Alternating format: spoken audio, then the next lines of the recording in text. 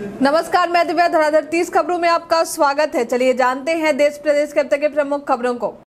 बिहार सरकार ने शनिवार को भारतीय प्रशासनिक सेवा के अफसरों के साथ भारतीय पुलिस सेवा के भी 26 अफसरों के तबादले का आदेश जारी किया है। पुष्कर आनंद, अवकाश, कुमार, मनोज कुमार तिवारी, डी अमर केस आदि चर्चित नामों के साथ इस सूची में पूर्व केंद्रीय मंत्री और जनता दल यूनाइटेड के राष्ट्रीय अध्यक्ष रहे रामचंद्र प्रसाद सिंह की बेटी लिपि सिंह का नाम भी शामिल है। भारत की राष्ट्रपति द्रौपदी मुर्मू ने असम के तेजपुर वायुसेना स्टेशन से लड़ाकू विमान से उड़ान भरी। इससे पहले राष्ट्रपति का यहाँ पहुँचने पर गार्ड ऑफ़ ऑनर दिया गया। आपको बता दें कि उनसे पहले साल 2009 में तत्कालीन राष्ट्रपति प्रतिभा देवी सिंह पाटिल ने भी लड़ाकू विमान से उड़ान भरी थी। पटना में जन्मदिन के मौके पर पिस्टल से फायरिंग करते हुए वीडियो बनाना युवक को अब महँगा पड़ गया है। फायरिंग करता हुआ वीडियो वायरल होकर पुलिस तक पहुँच गया। वीडियो के हाथ लगते ही पुलिस ने त्वरित कार्रवाई करते हुए आरोपी युवक को गिरफ़्तार कर लिया है। घटना के संबंध में पुलिस का कहना है कि दानापुर निवासी शिव कुमार ने पिछले तीन अप्रैल को पीपा पुल के पास जन्मदिन का पार्टी मनाया था। जन्मदिन की पार्टी यादगार हो इसके लिए उन लोगों ने बर्थडे का केक अपने पिस्तौल से काटा। फिर अपने साथियों के साथ डीजे के अश्लील भोजपुर गीतों पर जमकर डांस करने लगे। इसी दौरान पिस्टल से फायरिंग की गई। प्रधानमंत्री नरेंद्र मोदी हैदराबाद पहुँच गए। राज्यपाल डॉक्टर तिमिसलाई सुंदर राजन और अन्य गणमान्य लोगों ने उनका स्वागत किया है। पीएम मोदी ने हैदराबाद में सिकंदराबाद तिरुपति वंदे भारत एक्सप्रेस ट्रेन को हरी झंडी दिखाई। बता दें कि देश की तेरहवीं वंदे भारत ट्रेन है। यह train Secunderabad Tirupati Vande Bharat express train IT city Hyderabad को भगवान वेंकटेश्वर के निवास स्थान तिरुपति से जोड़ती है। पूरी दुनिया में क्रिकेट के खेल ने कईयों की किस्मत बदली है। भारत में भी इसके एक नहीं कई उदाहरण हैं। जहाँ क्रिकेट के खिलाड़ी करोड़ों में खेलते हैं। गली मोहल्ले से क्रिकेट खेलकर लोग आसमान की ऊंचाइयों तक पहुँचे हैं। अब एक ऑनलाइन गेम ड्रीम इलेवन जो क्रिकेट से ही जुड़ा हुआ है, लोगों की किस्मत चमका रहा है। ऑटो चलाकर अपने परिवार का गुजारा करने वाले नौसाद नाम के शख्स की अचानक किस्मत बदल गई। दरअसल ड्रीम इलेवन ने बिहार के पूर्णिया के इस गरीब ऑटो ड्राइवर को करोड़पति बना दिया है। गर्मियों के मौसम में कच्चे आम का नाम सुनते ही कई लोगों के मुँह में पानी आ जाता है। गर्मियों में इसका कई तरह से सेवन भी किया जाता है। लेकिन कच्चा आम जितना खाने में स्वादिष्ट होता है, उससे ज़्यादा ये सेहत को फ़ायदा पहुंचाता है। कच्चे आम का सेवन करने से कई बीमारियों से भी निजात मिलता है। विटामिन ए, सी और फाइबर से भरपूर कच्चा आम पाचन से जुड़ी समस्याओं को भी दूर करता है। गर्मी के मौसम में कच्चे आम का सेवन करने से डिहाइड्रेशन की समस्या भी नहीं होती है। दो वर्षीय बीएड एवं शिक्षा शास्त्री में नामांकन के लिए संयुक्त प्रवेश परीक्षा, सीईटी बीएड 2023 का आयोजन किया गया। इस परीक्षा में बिहार के 11 शहरों के 301 परीक्षा केंद्रों पर एक लाख चौरासी हज़ार दो सौ तैतीस अभ्यर्थी शामिल हुए, जिनमें सतासी हज़ार चार सौ दो महिला और चौरासी हज़ार पाँच सौ सत्रह पुरुष अभ्यर्थी थे।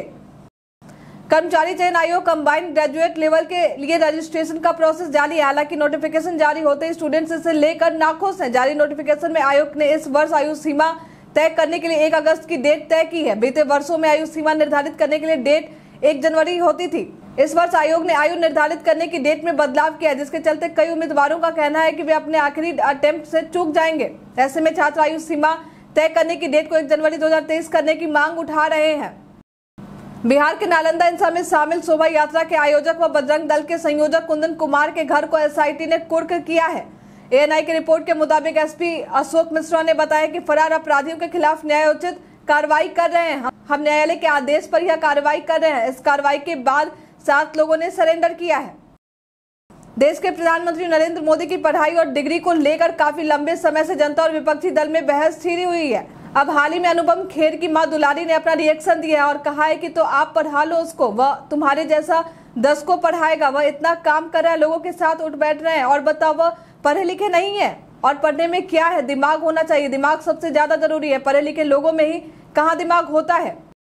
यूक्रेन के विदेश मामलों की पहली उपमंत्री एमिन झापरोवा 9 से 12 अप्रैल 2023 तक भारत की आधिकारिक यात्रा पर रहेंगी। यात्रा के दौरान झापरोवा विदेश मंत्रालय के सचिव संजय वर्मा के साथ बातचीत करेंगी, जहाँ दोनों देशों के द्विपक्षीय संबंधों पर चर्चा करने, यूक्रेन की मौजूदा स्थिति और आपसी हित के वैश्विक मुद्दों पर चर्चा का आदान प्रदान करने की उम्मीद है।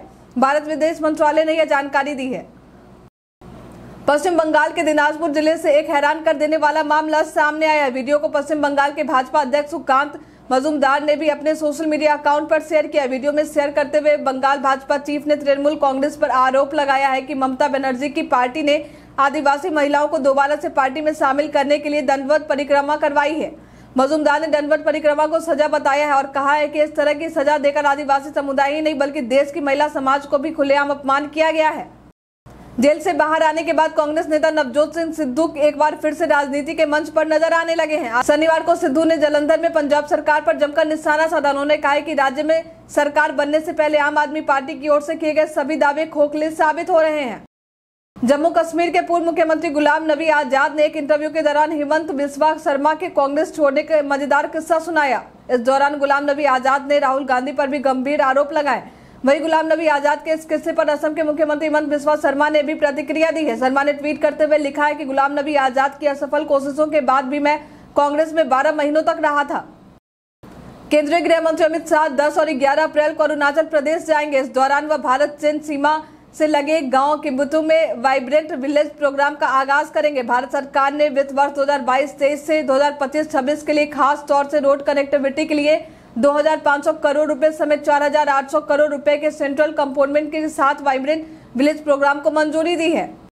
मोदी सरकार के आर्थिक मामलों की मंत्रिमंडलीय समिति ने भारतीय अंतरिक्ष नीति 2023 को मंजूरी दे दी है। इसके पीछे सरकार की मंशा अंतरिक्ष क्षेत्र में निजी क्षेत्र की भागीदारी को संस्थागत बनाना है जिसमें भारतीय अंतरिक्ष अनुसंधान संगठन उन्नत अंतरिक्ष प्रौद्योगिकियों के अनुसंधान और विकास पर ध्यान केंद्रित कर रहा है। प्रधानमंत्री मोदी की अध्यक्षता में कैबिनेट समिति द्वारा अनुमोदित भारतीय अंतरिक्ष नीति 2023 में इसरो की भूमिकाओं और जिम्मेदारियों को रेखांकित किया गया है। कोविड के बाद पर्यटन उद्योग में सुधार के अच्छे संकेत दिख रहे हैं। कोरोना के बाद से देश में कितने विदेशी पर्यटक भारत घूमने आ रहे हैं, इस पर पर्यटन मंत्रालय ने संसद में जानकारी दी है।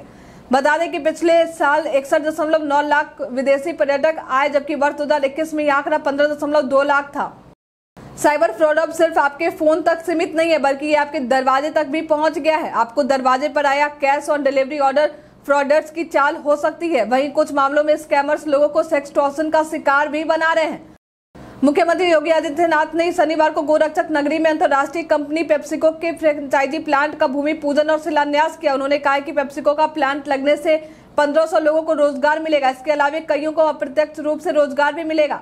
गोरखपुर में इतने प्लांट लग चुके हैं कि अब युवाओं को बाहर जाने की आवश्यकता नहीं है। उन्होंने कहा है कि यूपी में अपराध कम हो गए हैं। मुंबई से दिल्ली जा रही गो फ़र्स्ट फ़्लाइट की लापरवाही के चलते यात्रियों को एक घंटे से ज़्यादा परेशानी का सामना करना पड़ा। जानकारी के अनुसार फ़्लाइट में कैप्टन मौजूद नहीं था। जिस पर आईएएस अधिकारी सोनल गोयल ने नाराज़गी जताई। उन्होंने यात्रियों की फ़ोटो को शेयर करते हुए लिखा है कि उड़ान संचालन की अप्रत्याशित और दयनीय handling Go First Airways flight G eight तीन सौ पैंतालीस मुंबई से दिल्ली के लिए साढ़े दस बजे उड़ान भरने वाली थी।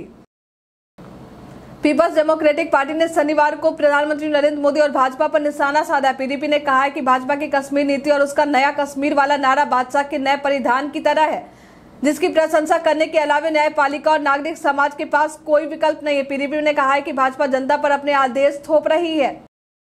अब तक अपने मेट्रो को सुरंग से गुजरने देखा होगा, लेकिन अब आप बहुत जल्द ही मेट्रो को पानी के नीचे से गुजरता हुआ भी देख पाएँगे क्योंकि भारत में भारत के पहले अंडर वाटर मेट्रो ट्रेन की शुरुआत होने जा रही है। जानकारी के मुताबिक 9 अप्रैल को इसकी टेस्टिंग होगी। ये मेट्रो हुगली नदी में बने टनल से होकर गुजरेगी। बता दें कि इस मेट्रो में छह कोच जुड़े होंगे।